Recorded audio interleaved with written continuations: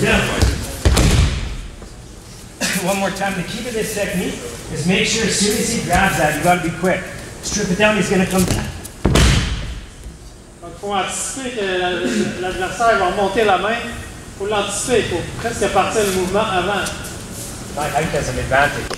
Um, so what I'm going to show you guys is uh, right on right, uh, Marote Sunagi. Um, Et donc, Fraser, ce qu'il disait, c'était que Fraser, comme vous avez pu constater, bien souvent, était plus petit que ses adversaires. Donc, il a développé toutes sortes de techniques, justement, euh, pour profiter de cet avantage-là. Donc, des mouvements dans lesquels il passait en dessous de ses adversaires, donc attaquait entre les deux jambes de ses adversaires. Donc là, il va travailler sur Moroté, sur Nagui, droitier contre droitier, même, même côté. Yeah, okay. So what's important, just like in judo, uh, like anything else, is to use uh, your opponent's momentum against them as much as possible, just to make the, your job a lot easier. Um, I'm going to show you two different variations of uh, Morote Seoinage, right on right. Um, first one is where I strip the, the sleeve down. Back when I used to do judo, uh, you could take two hands and you could strip the, the sleeve down. Now from the changes, it's pretty important uh, that you don't do that because that's a penalty. Donc, il, va vous montrer deux façons de faire monter droitier. Donc, euh, avant, dégripper à deux mains, plus. Il va montrer euh, dégrippant d'une main. Yeah. So what's really important now, um, depending on the strength of your, your guy you're against, is to get that grip off as quickly as you can. Uh, the trick to this technique, so as soon as he grabs on, you want to strip it down. Once again, it's pretty straightforward. As soon as he grabs on, you want to strip it down. His reaction is going to be to try to raise his hand back up, to grab back onto your, your, your uh, lapel. So first, as soon as he grabs on, you want to strip it down, he's going to come back up, and then that's when you use the kazushi to move him forward. Donc, euh, la clé de ce mouvement-là, c'est d'utiliser le, le momentum, l'inertie de son adversaire. Donc, aussitôt qu'il met sa main sur le collet, on dégrippe tout de suite d'une main. La réaction de l'adversaire, c'est de remonter la main. Donc, on utilise sa- son énergie pour rentrer le mou- le mouvement à ce moment-là. So as soon as he grabs on, you strip it down, he's going to come back. There's, I'm not the to throw, I'm just going to enter in and show you the positioning of the feet. So as soon as he grabs on, you want to strip down, then you want to come in. It's important to make sure you pull this arm down. You want your uh, elbow under the armpit or in into his into his armpit as well. And it's very important to make sure your, your feet are, your knees are square and you have good placement between his legs. If you're too far forward, it's a lot harder to try to pull through. Or if you're too far forward, he can step right through. Donc, la position où est-ce qu'il rentre entre les deux jambes est très importante. Donc, il faut, trouver le, le- la bonne- le bon espace entre les deux jambes, le coude entre les, entre les aisselles, et puis on tire la manche vers le sol. So once again, as soon as he grabs on, you strip it down. Pull your feet in. Yep. Right, just a bit. So when he comes down, strip right away, he's going to come back, you pull forward. Down and through. All right, this time I'm going to throw. Good. Down. I was going to try to shoot with the Morote. Donc, il dit que ça, ça, ça a fonctionné là, un, un bon bout de temps. À un moment donné, ses adversaires le savaient. Donc, ça a de fonctionner. Yeah. um, so what I developed is just a, a Morote, um, similar to Morote, but from, from two on one. And I realize now that you have to attack right away as soon as you have your, your two on one grip. So what a guy does is that uh, same idea, you have your grip, you tear it down, as soon as he comes back up, at the same time he's coming forward with the grip, you come through and just use his energy the same way. You strip it down, he comes forward, use the same thing. So same movement, you want your same position with your legs and your hips as you did with the, the classical grip morote. Donc, euh, à partir du moment de la, grippe classique, la même chose, mais il va faire iris négué. Donc, il va changer de la main de collet. Yeah. Strip it down.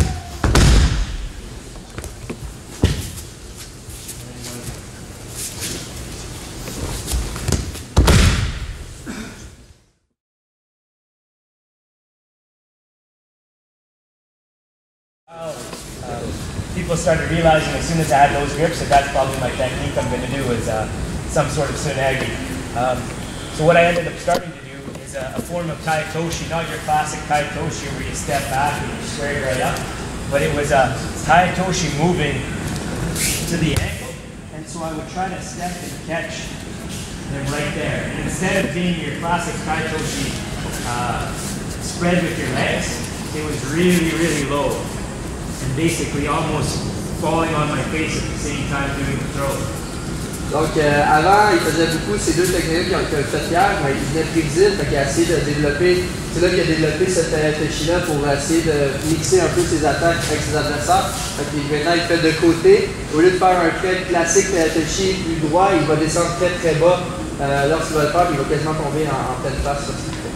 Yeah. So in order to, to start this off, same same position where I would strip down the, the grip as he's coming to get it again. I would grab onto the side of the judo gi and then do a movement that direction. Very important that you get him moving to the side on this technique. If they're standing rigid like this, then when you try to fly in, it's going to be hard. You're going to get bent back. You don't have any momentum. So in order for this technique to work, it's very important that you get them moving to the side. Strip it down, you come, and they start coming to the side. Au début, euh, il change sa, position des mains. Oui, une position classique, il va deux, sur un, euh, deux mains du même côté. Puis il dit l'important, c'est vraiment de faire cette technique-là quand il se déplace sur le côté. Vous ne pouvez pas faire cette technique-là quand la personne est statique.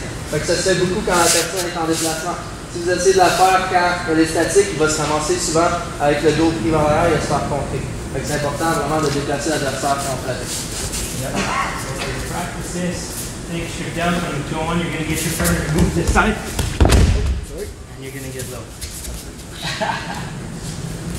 Once again, you're going to strip it down, you're going to move to the side, and then drop down as low as you can.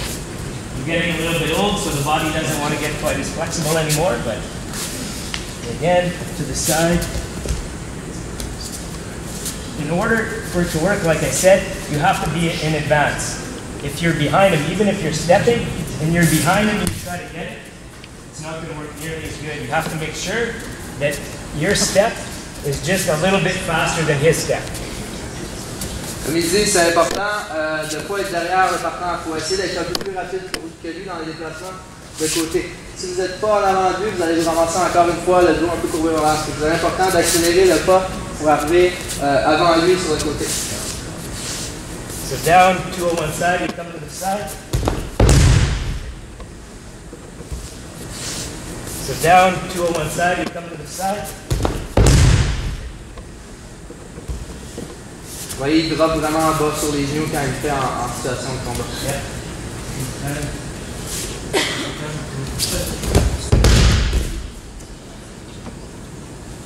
Where I didn't take many steps, it was just one movement to the side. As we went to the side, just jumped in both feet at the same time. That's a little bit why I called it the flying tile because there is no one step, two steps. Basically, as we move to the side, boom, I would just jump right into it. Um, it's also important Ah, comme il explique, c'est pas un, un classique Tai Otoshi qu'on va faire les deux steps ici pour rentrer de Tayateshi. C'est vraiment un flying. Vu qu'il dit flying, c'est parce qu'il saute vraiment les deux jambes en même temps il descend le plus bas possible en Tayateshi. C'est pas, euh, c'est pas un, deux, c'est vraiment les deux jambes dans les airs en même temps. And uh, aussi avec la, la taille toshi, um, des, des fois la personne, sometimes they'll, they'll have it so that you want to basically push away and get them to trip over your leg. In order for this to be effective for me, I would keep the arm close and tight and pull them basically down. As I, as I jumped in, I would pull them over their own leg, but keep it tight instead of kind of pushing them out. Qu'en fait, au niveau du kumikata, il essaie de garder le le plus serré possible. Pas garder la distance ici des bras, essayer de coller le plus possible le bras, ici ses deux bras ensemble fait son déplacement. And finalement, it's a, I finished it a lot like a Morote. Um, with the shoulder turn. You guys probably noticed it. I rolled over Sasha when I threw him, just like I would with Morote. And that's the finish you want. So it was almost very similar to Morote in, order, other than I would just block this leg. Euh, en fait, la finition est similaire à un morote seoinage. Il va rouler par-dessus euh, son partenaire comme un morote, mais il va faire quand même le, le taillot en sortant sa jambe un petit peu pour, pour finir la technique.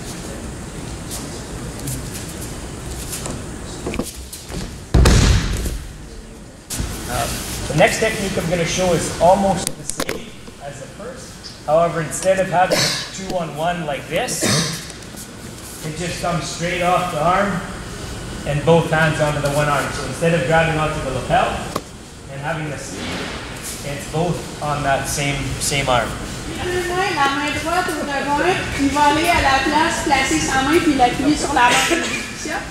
Yep. Au niveau du bicep, il va aller vraiment pousser avec sa main droite sur la manche au lieu de prendre le rebond. And the reason why I started doing that is because just like uh, fighting in judo, once you start doing certain techniques, then your competitors and whoever you're fighting against knows that those are the technique, techniques you do. So as soon as you take certain grips or you position your feet in certain ways, then your opponent is, if they're good, they know what's coming. So then they have some defensive strategies to try to stop it. So in order to continue keep using the same sort of techniques, you need to adjust your hands or your feet positioning a little bit so that it, it keeps your opponent guessing. Ouais, en fait, en gros, ce qu'il veut dire, c'est que quand on fait toujours la même technique, des fois, les, les, les adversaires s'ajustent. Fait que c'est important de varier. C'est pour ça qu'il va venir euh, faire avec la manche au lieu de faire avec le revers. Pour glisser un peu c'est sa technique. So it ends up being the same. So instead of grabbing here, we go here. But at first, I start here. So we come across and just straight onto the arm. So the same movement to the side. Everything else is the same. My position, my feet, I want to be the same, really low. The only difference is instead of grabbing here, I start off on this lapel. And as we're going to the side, I shift to that arm. Same idea here, start off here. As we move to the side, I shift to that arm. Fait qu'en gros, c'est la même, même chose que la technique d'avant. La seule chose que vous allez commencer avec un clinicateur régulier, la technique d'avant, commençait déjà en croisé. Commencer avec une tec- euh, clinicateur régulier, pendant qu'on se déplace, on va changer la main pour venir les deux mains sur le bras. Et puis après ça, c'est le même, même mouvement que tout le reste que vous avez fait euh, avec l'autre technique.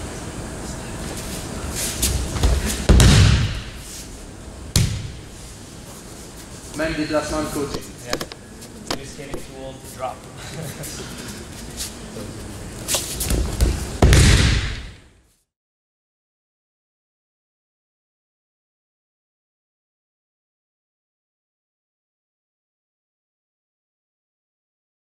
You guys probably know it as a Sasmo roll. Um, I used this a lot later in my career, and it worked really well for me. I was never the most agile guy, but I was pretty strong for my division, so it worked out pretty well. First, what I do, I take and put my weight down on my opponent, make sure my chest is to their back so they can't just shoot away really easily. Then I would search around, grab onto their lapel. I didn't want to get my hand too deep, or else they would be able to get a hold of it and roll me. So I'd search for the lapel just under their armpit so that they couldn't trap my hand. Fait que c'est important de garder, se garder vraiment proche du corps. On veut pas aller chercher le revers trop loin. On veut juste le ramener le plus sur le côté possible parce que si on va chercher trop loin, des fois on peut se faire rouler. C'est important, contact avec le dos, chercher le, le revers, on le ramène le plus proche possible de nous, pas, pas rentrer notre main trop loin à l'intérieur. Yeah.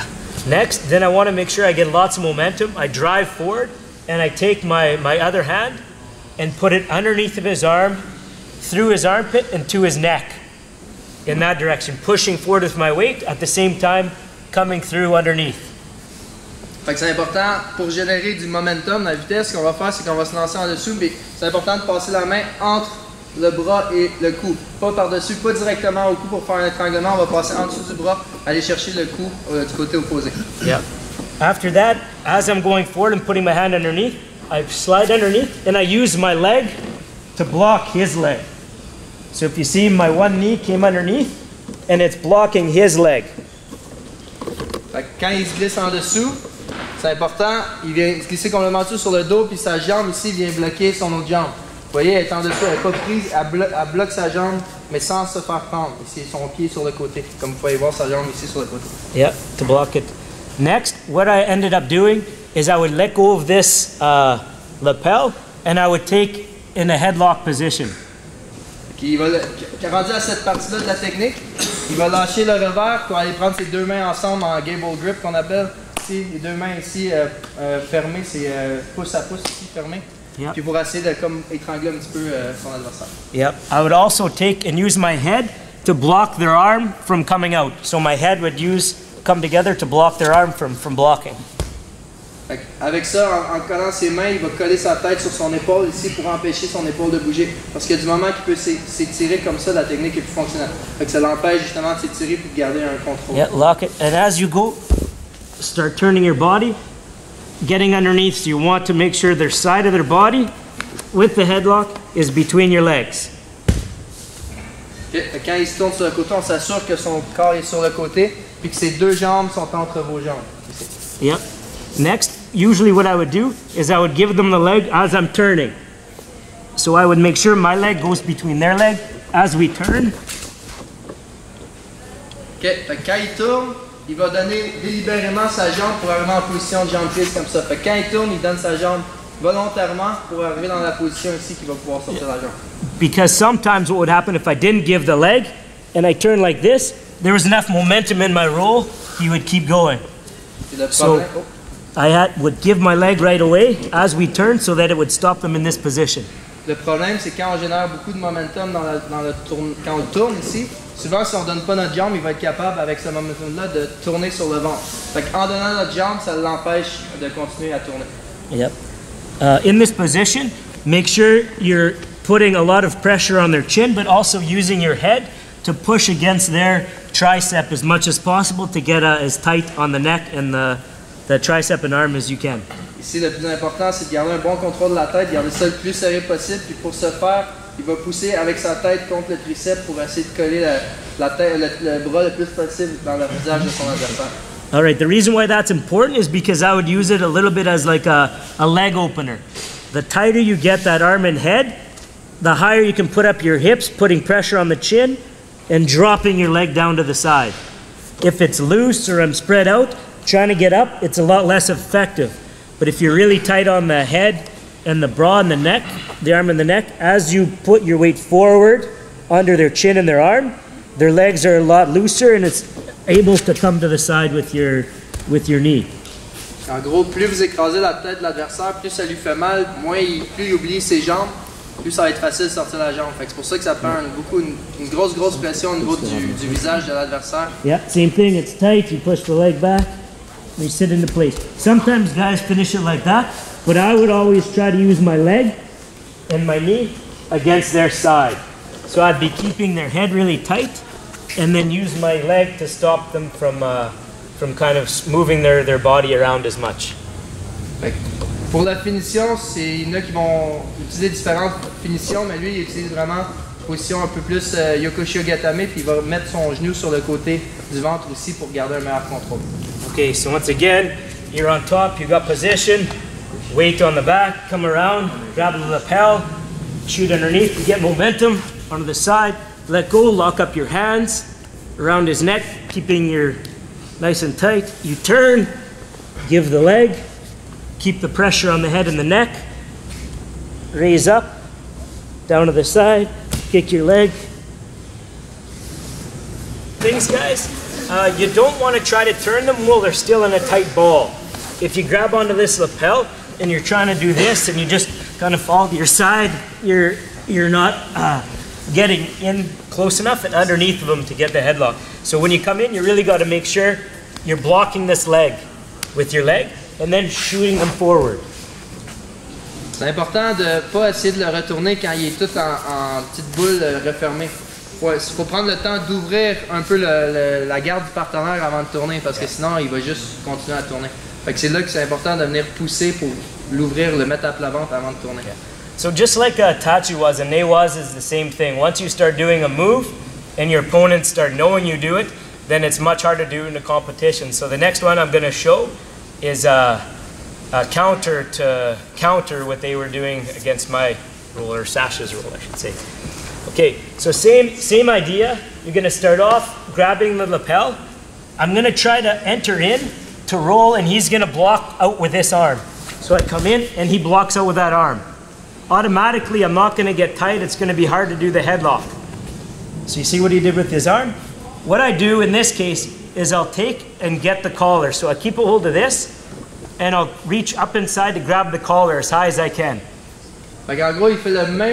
Début que l'autre technique, sauf que la personne va bloquer avec son bras. Fait que quand la personne bloque et on réussit pas à bloquer son bras, son épaule comme tantôt, ça fait qu'on peut pas le tourner. Fait qu'au lieu d'essayer de continuer à le tourner, il va juste venir chercher dans le collet le plus loin possible. Ici, il y a une grippe forte, puis il va commencer à tourner son, son poignet pour euh, commencer les. What's important is make sure the thumb is up high on the neck and inside. Don't get any other funky stuff. You want to use that thumb in this part to choke. C'est important, comme il dit, on rentre le pouce le plus loin possible dans le milieu ici, juste la partie du pouce, puis on prend une bonne grippe au niveau du, du collet ici. Yeah. And next, I'll sit up in a position, grabbing over this arm and pulling it in close. Then I have the opportunity to try to drive him forward that way. So at the same time, I'm grabbing this arm, I'm starting to pull it really tight on his neck. Fait quand il va remonter, il va essayer de se rasseoir un petit peu pour aller chercher de l'autre côté de son corps. Il va attraper le coude et le ramener vers lui. Il va commencer à tourner son poignet pour essayer de le, le pousser dans l'autre direction. Yeah. So tight. Then you sit up. Oh. so if he if he if he if he uh, taps, that's perfect. if he doesn't tap, what you want to do is keep that momentum going forward because you have great leverage. You have his shoulder and you have his head. So you'll continue to drive over his shoulder, giving his giving him your leg. Yeah. Oh, as he turns, there you go. So giving him your leg. Now we're back in that similar position we were before if everybody remembers, we were this way. So I use the choke. If the choke doesn't work, I'm able to use that pressure to keep turning him. I give him the leg, and then we're back in the same position where I let go. I'll grab onto my headlock, squeeze, lift the hips, down, and turn. Fait que quand il tourne, en fait, il va faire, il va juste ramener le collet puis utiliser tout son corps pour aller de l'autre côté.